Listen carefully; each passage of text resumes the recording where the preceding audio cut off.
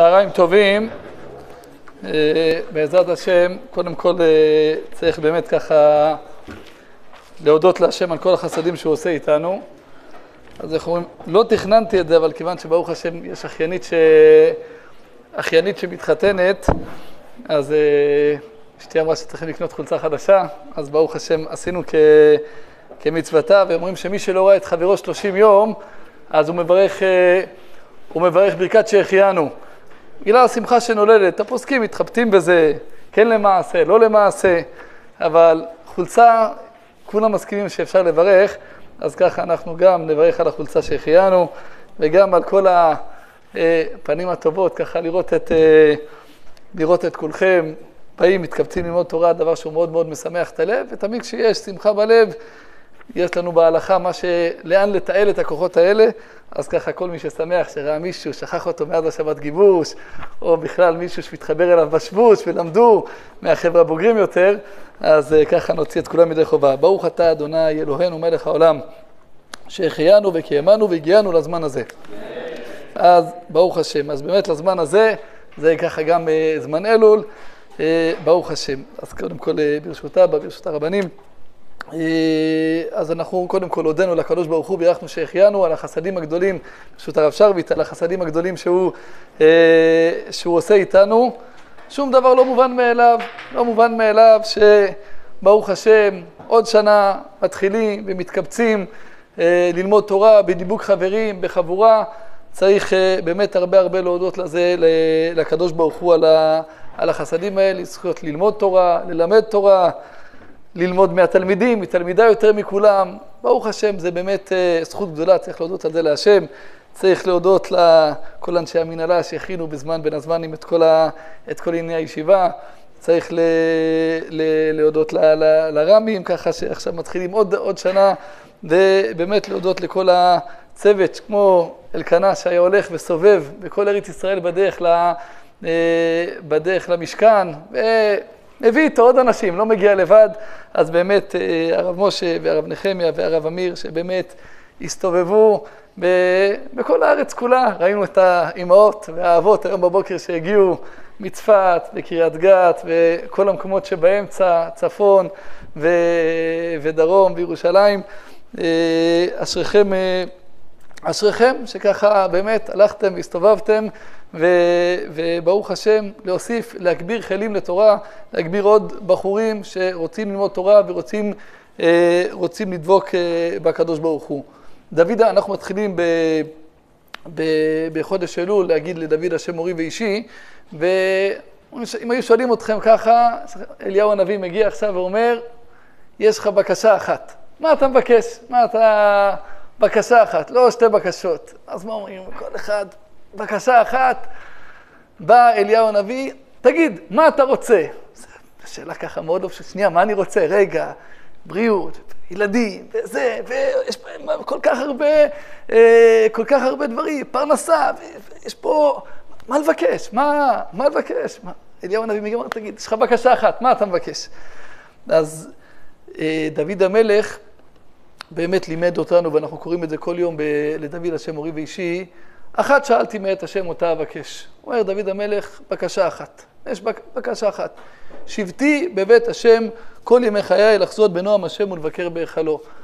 דוד המלך אומר, אם באמת נחיה בתחושה כזאת שאנחנו יושבים בבית השם, ולשבת בבית השם זה אומר שאתה תחת העין הפקוחה של הקדוש ברוך הוא.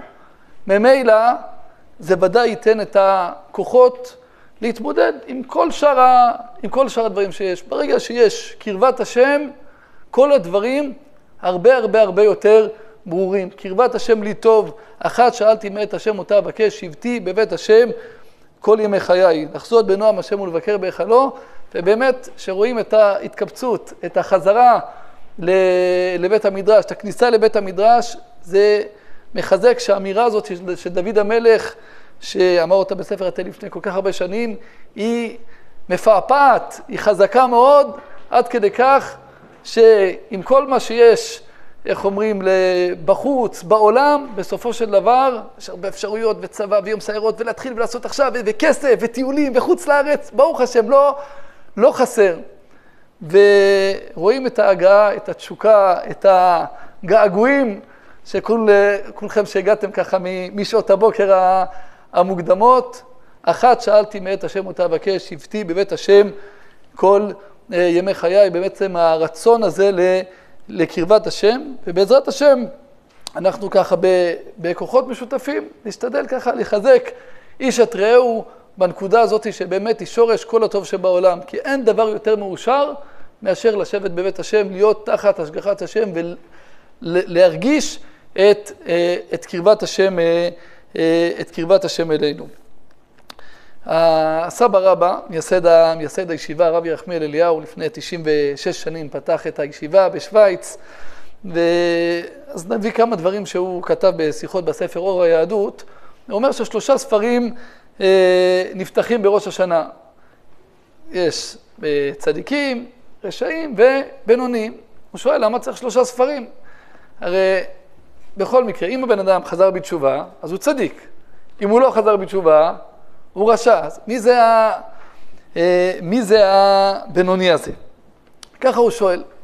והתשובה שהוא נותן, הוא אומר תשובה מעניינת. הוא אומר, משל למה הדבר דומה? הוא אומר, הייתה רכבת, שאדם יודע שהוא צריך לנסוע, עוד חודש יש לו איזושהי נסיעה. פעם נסיעות היו ארוכות ברכבות, לא...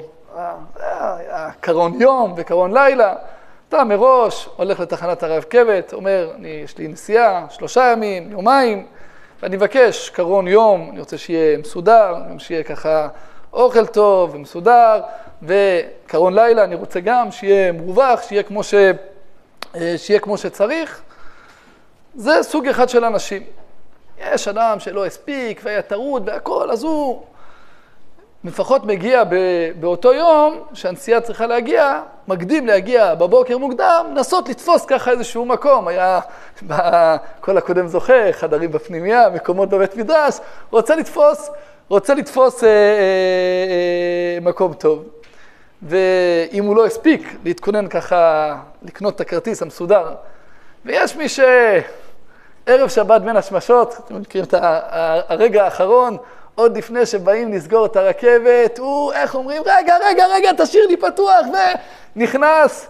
כמובן שהוא צריך לעמוד כל הדרך, ולא נוח, ועסקים והכול. אומר הסבא רבא, זה הבינוני.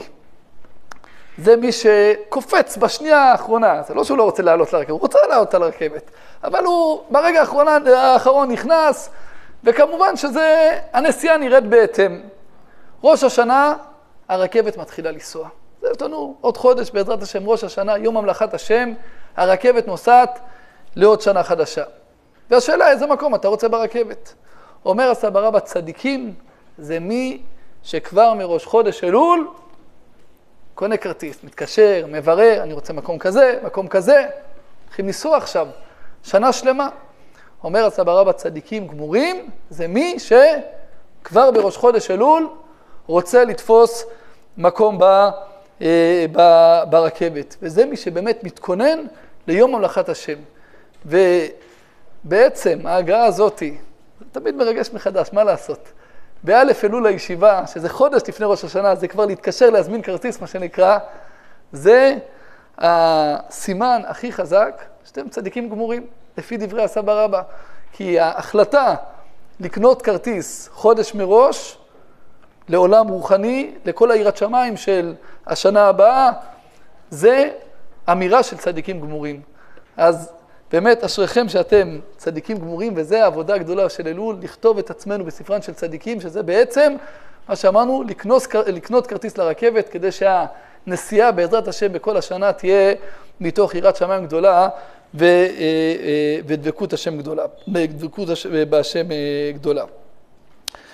אה, בעצם בכל החודש הזה, חודש אלול, אני לדודי ודודי לי, זה לבנות את הרצון של קרבת השם, של תפילה בכוונה, של הגעה בזמן לתפילה, של התמדה, ב, אה, התמדה בלימוד, ויש ראשי תיבות נוספים לאלול חוץ מאני לדודי ודודי לי, שזה דבר מעניין.